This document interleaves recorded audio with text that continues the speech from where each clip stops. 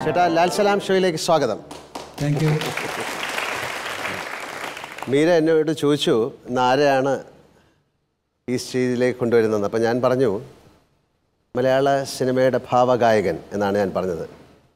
അതായത് ചേട്ടന് ഇരുപത്തിയൊന്ന് വയസ്സിലാണ് ആദ്യത്തെ പാട്ട് പാടിയെന്നാണ് ഞങ്ങൾ അറിയുന്നത്. അൻപത്തിരണ്ട് വർഷം കഴിഞ്ഞിരിക്കുന്നു ഇപ്പോഴും ആ സംഗീത സഭര്യ തുടരുന്നു.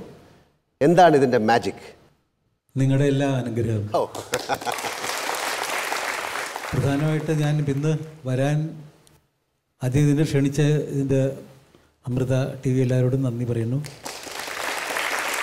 പിന്നെ പ്രധാനമായിട്ട് നമ്മുടെ ഏറ്റവും പ്രിയപ്പെട്ട എനിക്ക് മാത്രമല്ല മലയാളികൾക്ക് എല്ലാവർക്കും പ്രിയപ്പെട്ട മോഹൻലാൽ. മോഹൻലാൽ എന്ന നടനെക്കുറിച്ച് ഞാൻ പറയേണ്ട യാതൊരു കാര്യവും എല്ലാവർക്കും അറിയാം. ക്ഷമിക്കണം ഞാൻ ഒരു വാക്ക് പറയുന്നത് നിങ്ങൾ തെറ്റിദ്ധരിക്കരുത്. ഞാൻ സിനിമ കാണാൻ കണ്ടിട്ട് വർഷങ്ങളായി. പക്ഷേ ഇദ്ദേഹത്തിന്റെ പല പാട്ടുകൾക്ക് ഞാൻ പാടി മോഹൻലാൽ അഭിനയിച്ച പല സീനുകളും ഞാൻ കണ്ടിട്ടുണ്ട്. ഞാൻ അദ്ദേഹത്തെ മുമ്പിലിരുത്തി പുകഴ്ത്തി പറയുകയല്ല. പ്രത്യേകിച്ചും എനിക്ക് ഏറ്റവും ഇഷ്ടപ്പെട്ട ഒരു പാട്ടിന്റെ സീൻ എന്ന് പറഞ്ഞാൽ പൂവേ പൂവേ പാല പൂവേ എന്നൊരു പാട്ട് പാടിയിട്ടുണ്ട് ഞാൻ മോഹൻലാലിന് വേണ്ടിയിട്ട്. അതിൽ മോഹൻലാലിന്റെ അഭിനയം അദ്ദേഹത്തിന്റെ അദ്ദേഹത്തിന്റെ ടൈമിങ് അതായത് ആ പാട്ട് പാടുമ്പോൾ അത് അദ്ദേഹം പറഞ്ഞു കൊടുക്കുന്നതും പാടി എഴുന്നേറ്റ് പോയി അതിന്റെ ഒപ്പം മൂവ്മെന്റ് ഡാൻസ് ചെയ്യുന്നതും അദ്ദേഹത്തിന്റെ ഏറ്റവും വലിയ സിദ്ധി ടൈമിംഗ് ആണ്. പുതിയൊരു പൂമ്പാട്ടിൻ പൂമ്പൊടി തൂവാം നിൻ കാതിൽ ഇന്നൊരു പല്ലവി പാടാം.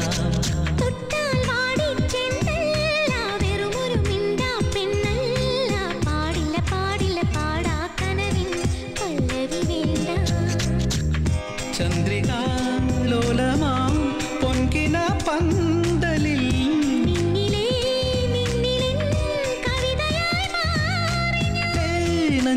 നെഞ്ചിൽ അനുരാഗപ്പൂക്കാലം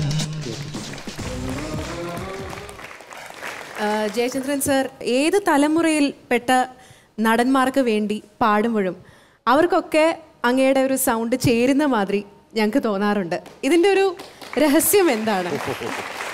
പ്രധാനമായിട്ട് എന്റെ ഞാൻ പറയാൻ എന്റെ ഇതാ പാടുന്നതെന്ന് വെച്ചാൽ എന്റെ ഈശ്വരന്റെ അനുഗ്രഹം ഗുരുവായൂരപ്പന്റെ അനുഗ്രഹം നോക്കി അതുകൊണ്ടാണ് ഞാൻ ഇപ്പോഴും പാടുന്നത് ഞാൻ വിശ്വസിക്കുന്നു. തീർച്ചയായിട്ടും വിശ്വസിക്കുകയാണ്.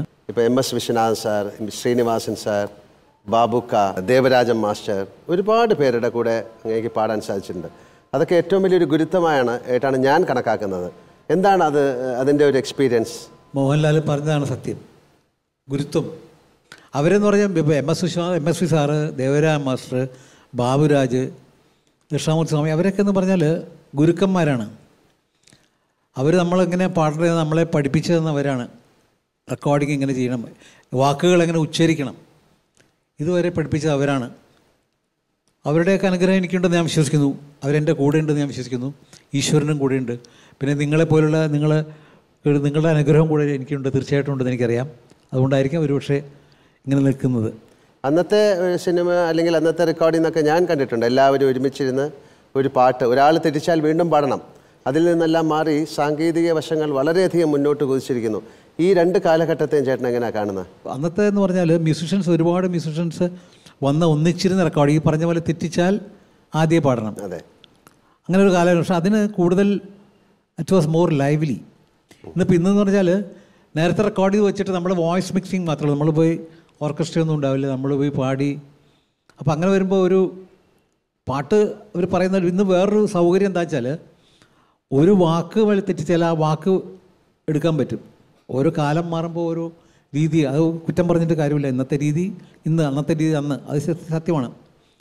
പക്ഷേ ഒരു ഗായകനുള്ള ഫുൾ അവർക്കുള്ള ഒരു പാടുന്ന പാടാനുള്ള ഒരു കൂടുതൽ ഫീൽ ഭാവം കൊടുക്കണമെങ്കിൽ അന്നത്തെ രീതിയാണെങ്കിലേ പറ്റുള്ളൂ.